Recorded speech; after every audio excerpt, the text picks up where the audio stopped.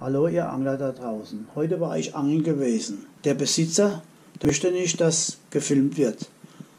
Jetzt bin ich zu Hause und werde die Fische filetieren und daraus Fischfrikadellen herstellen. Von den größeren Forellen, die habe ich filetiert.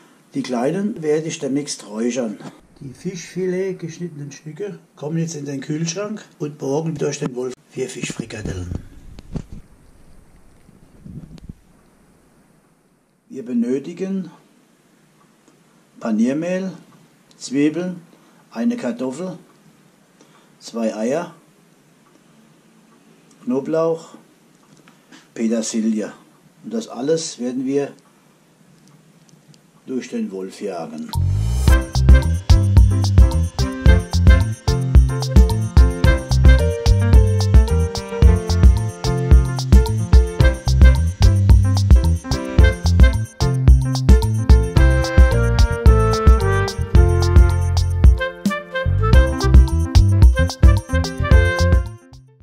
Ich habe die Forellenfrikadellen vorbereitet und jetzt werde ich sie auf dem Rosonik-Kocher zubereiten. Übrigens, der Rosonik-Gaskocher ist ideal für eine Notsituation, wenn es zu einem Blackout kommen sollte.